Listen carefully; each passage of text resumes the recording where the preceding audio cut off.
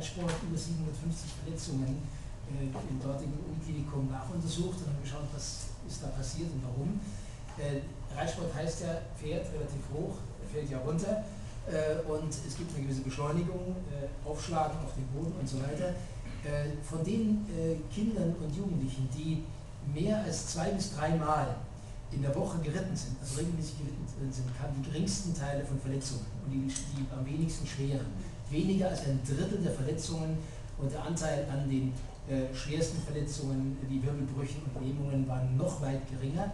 Diejenigen, die weniger als eine, einmal in der Woche drauf sitzen, die ab und zu das machen, die also untrainiert sind, die noch herunterfallen und dann erheblich schwere Verletzungen, vor allem die typischen Wirbelbrüche, erster Lendenwirbel, zweiter Lendenwirbel mit entsprechenden Lähmungen.